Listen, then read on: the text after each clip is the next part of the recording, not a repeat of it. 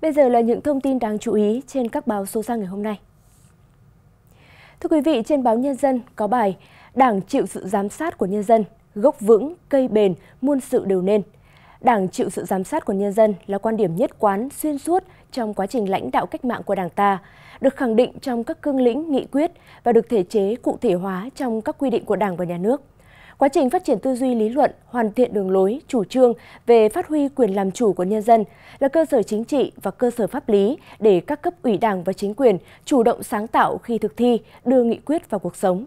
Từ đường lối chủ trương đến các chính sách pháp luật đều hướng đến mục tiêu phát huy vai trò của nhân dân trong công tác giám sát, phản biện xã hội và thực hiện dân chủ ở cơ sở.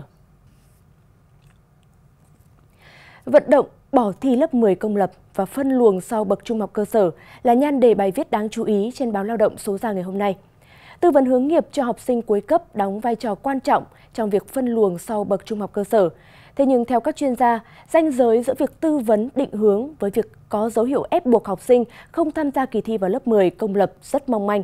Vì vậy, giáo viên và nhà trường phải tròn vai trong công tác hướng nghiệp quan trọng này. Chúng ta không được đánh đồng phân luồng học sinh sau trung học cơ sở thành câu chuyện ép thí sinh không được dự thi.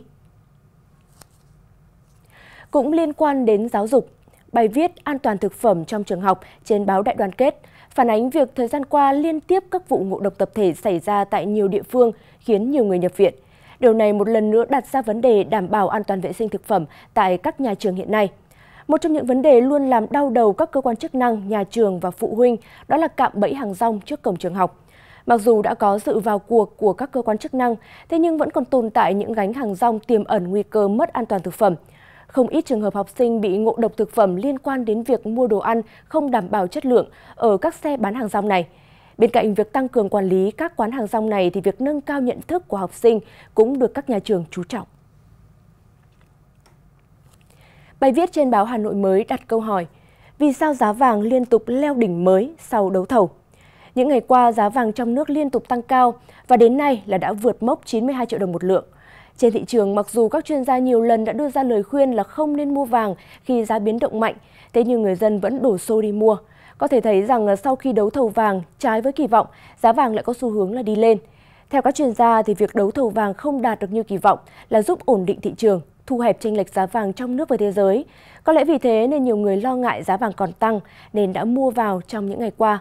Tâm lý đám đông càng khiến cho người dân đổ xô đi mua vàng nhiều hơn và giá liên tục lập kỷ lục mới. Còn theo bài viết trên báo Tiền Phong, nếu ngân hàng nhà nước không can thiệp kịp thời, giá vàng miếng SJC có khả năng sẽ lên tới 100 triệu đồng một lượng. Nhiều chuyên gia đều thống nhất cần phải sửa đổi Nghị định 24 về quản lý vàng miếng càng nhanh càng tốt. Ngân hàng nhà nước nên coi vàng là một hàng hóa khá thông thường, mọi người đều có thể sử dụng và quản lý bằng thuế thay vì độc quyền. Việc xóa bỏ độc quyền sẽ có nhiều doanh nghiệp tham gia vào quá trình sản xuất vàng miếng để đáp ứng nhu cầu của người dân. Khi cung được tự do, được cạnh tranh bình đẳng thì người dân tiếp cận vàng tích lũy sẽ dễ hơn, sẽ không còn tình trạng khan hiếm nữa.